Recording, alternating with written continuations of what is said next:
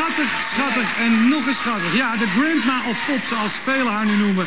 heeft haar sporen dubbel en dwars verdiend in de popwereld. Ja, ik heb het natuurlijk nu over Tina Turner. Haar Korte rokjes en hoge hakken zijn haar handelsmerken.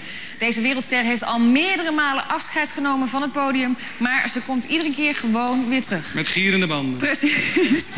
Vanavond kruipt Tessa even in de voetsporen van deze grootste zangeres. Hier is met River Deep, Mountain High, Tessa. Ja.